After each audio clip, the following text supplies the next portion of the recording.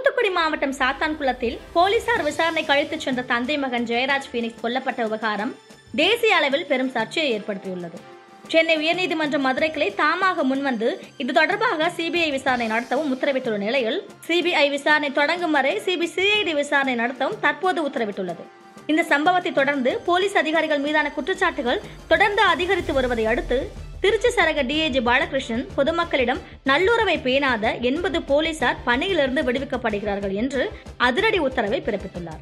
சில நாட்களுக்கு முன்பு திருச்சி காவல் சரகத்திற்கு உட்பட்ட திருச்சி புறநகர் புதுக்கோட்டை கரூர் அரியலூர் பெரம்பலூர் ஆகிய ஐந்து மாவட்டங்களில் மக்களோடு நேரடி தொடர்பில் உள்ள காவலர்களில் மக்களிடம் நல்லுறவு பேணாத காவலர்கள் குறித்த பட்டியலை தயார் செய்ய டிஏஜி பாலகிருஷ்ணன் உத்தரவிட்டிருந்தார். இதன்படி நடத்தப்பட்ட ஆய்வில் போக்குவரத்து ஒழுங்குபடுத்தும் பணியில் ஈடுபடும் காவலர்கள் காவல் நிலையங்களில் உள்ள காவலர்கள் உள்ளிட்டோர் ஆய்வுக்கு உட்படுத்தப்பட்டனர். அதில் முதற்கட்டமாக அடிமட்ட காவலர்கள் முதல் அதிகாரிகள் வரை நூற்று எண்பது பேர் கொண்ட பட்டியல் தயார் செய்யப்பட்டது.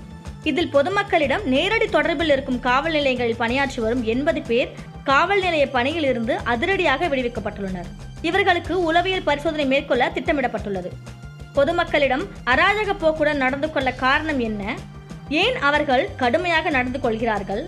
உளவியல் ரீதியாக இந்த காவலர்களுக்கு என்ன பிரச்சனை ஏற்படுகிறது என்பது குறித்து உளவியல் நிபுணர்கள் முதலில் ஆய்வு செய்வார்கள். அதன் பிறகு பொதுமக்களிடம் எப்படி நடந்து கொள்ள வேண்டும் புகார் அளிக்க வருபவர்களை எப்படி நடத்த வேண்டும் உள்ளிட்ட பயிற்சிகள் அளிக்கப்படும். பயிற்சிக்கு பிறகு சில சோதனைகள் நடத்தப்பட்டு மீண்டும் பணியில் ஈடுபட அனுமதிக்கப்படுவார்கள். சாத்தான்குளம் சம்பவத்திற்கு பிறகு போலீசார் மீது விமர்சனங்கள் அதிகரித்துள்ள நிலையில் திருச்சி டிஐஜி பாலகிருஷ்ணனின் இந்த அதிரடி உத்தரவு அனைத்து தரப்பு பாராட்டையும் பெற்றுள்ளது. திருச்சி டிஐஜி மேற்கொண்ட நடவடிக்கையை தமிழ்நாடு முழுவதும் அமல்படுத்த வேண்டும் என சமூக ஆர்வலர்கள் கோரிக்கை வைத்துள்ளனர்.